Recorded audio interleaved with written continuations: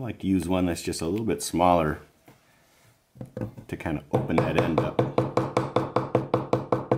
Just lightly tap it to get that end display and then I switch to the appropriate size. Make sure it's splaying out.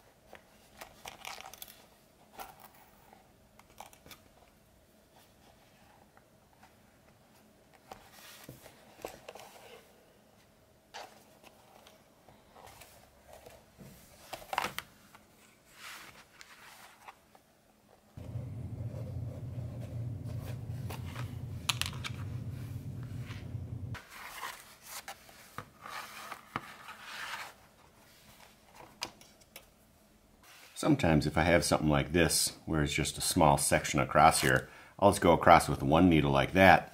But then on the way back, just make sure I fall on the correct side so it looks like I came through with both.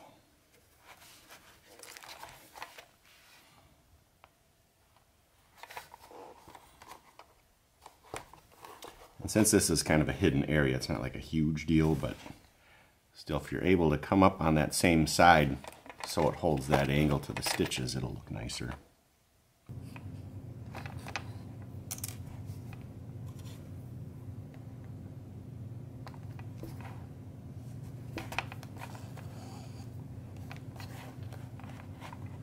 Started sewing from this corner now. I'll just go all the way across this pocket and we'll finish in the back here so we can back stitch it. But to make it easy, I put little ties on here just to hold that in place and to make sure I don't forget it came up this side and then just did some back stitching right here. And we'll do the same thing from this side. The pocket's already on there. And from this corner, you can just start right in this corner and go over the edge, but I like to come from underneath in that corner, in between that very last layer there.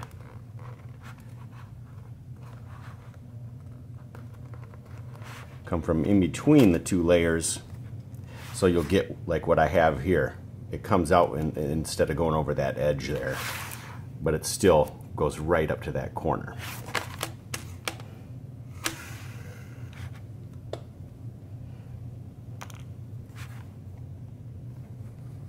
And just continue on all the way around to here and we'll do some more back stitching.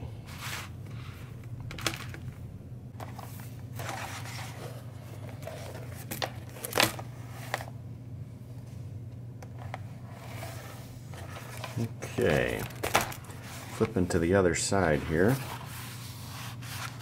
And we're only sewing along this edge, not through both of these layers, so you're going to want to pull this up here.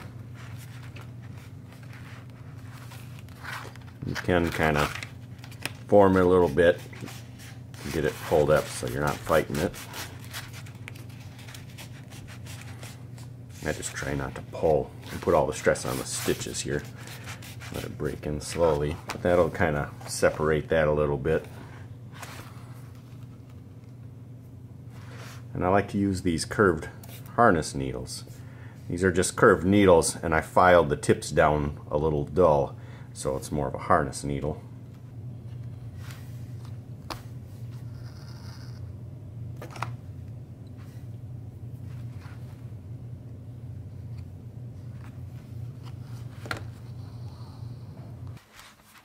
Once you come around the corner here, it's a little bit different since you got this in the way. What if you just kind of lift this up?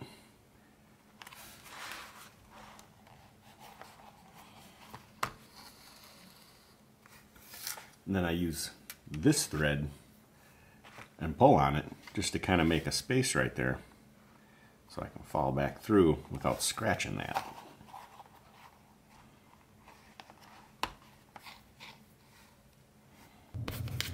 Another thing you can do is go off the edge of a box or your table so it bends and kind of opens this up a little bit.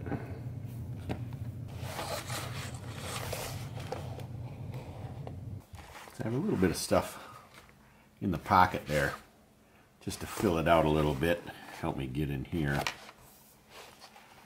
but I also tied this down just so I don't forget it once I got to this corner here since we're not along an edge I switched back to straight needles and I try to just hit a little bit of an angle while I'm pushing my thumb in there so I don't bump this back section.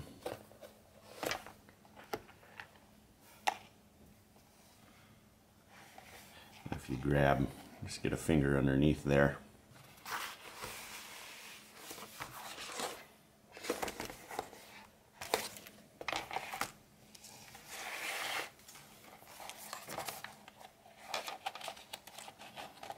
First time you put this stuff in here, might be a little snug. It'll wear in real nice. And there's actually a secret SD little pocket right there as well. Little business card. I think I'm going to alter the pattern a little bit and open that up to make it easier to get that in there. A couple cards here, extra pocket. This is where you can slide any color behind the broguing here. A couple more cards. There's a hidden SD pocket. A little SD pocket here. This pocket, I just have some leather in there now, but it can also fit pads.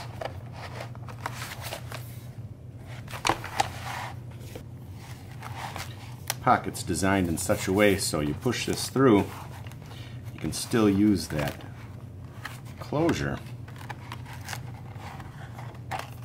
Just try to get it up above that section there.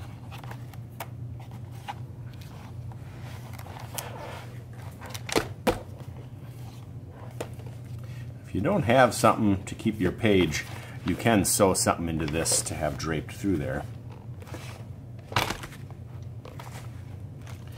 And now we can still use this. Keep that closed.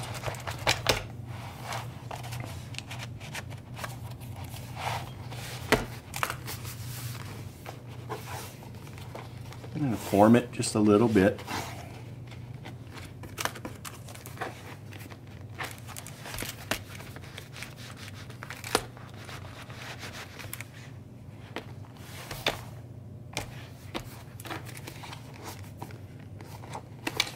Snaps are done in a way so that you can go behind this pocket in order to squeeze these closed instead of trying to squeeze the whole thing.